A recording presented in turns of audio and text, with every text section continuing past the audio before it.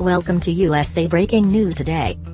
Please subscribe and click notification box to get all breaking news alert. Breaking news today, Turkey warns missile system from Russia will be used as tensions with Donald Trump soar, as tensions between Turkey and the US soar, Turkish President Recep Tayyip Erdogan released a strong statement on Tuesday in which he claimed Turkey will put to use the S-400 surface-to-air missile systems once they are delivered from Russia, adding its main objective was to reduce Ankara's dependency on U.S. arms supplies. Mr. Erdogan's remarks come after months of contention between Turkey and NATO allies, in particular the U.S., who see the purchase of a Russian-built missile system as a threat to NATO countries' defense interoperability.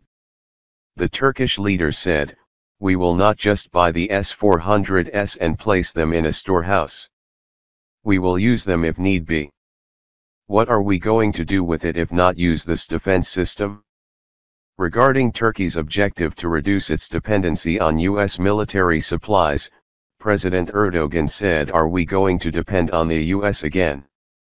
When we have been demanding from them for years, the answer that has been given to us is, the Congress is not allowing. We are tired of this, he noted in the meantime, Russia has responded to the Turkish request for the S-400 with a pretty alluring offer. They said they would even get into a joint production. And with respect to loans, they have offered us pretty good loan terms. The U.S. Congress has currently taken up the S-400 case and the U.S. Senate is readying to vote next week on a bill that calls for sanctions for the Russian air missile purchase. The bill also claims the sale and transfer of the new generation F-35 fighter jets to Turkey, which are expected to arrive in Turkey on June 21, is blocked until congressional committees prepare a plan on removing the country from the F-35 co-production program.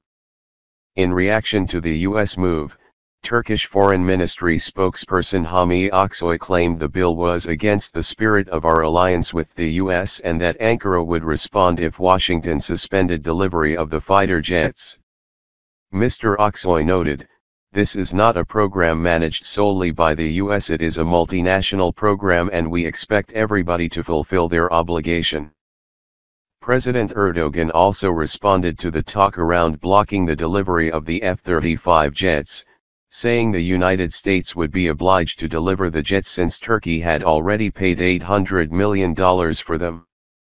Thanks for watch please share like comment this video and subscribe channel for latest news.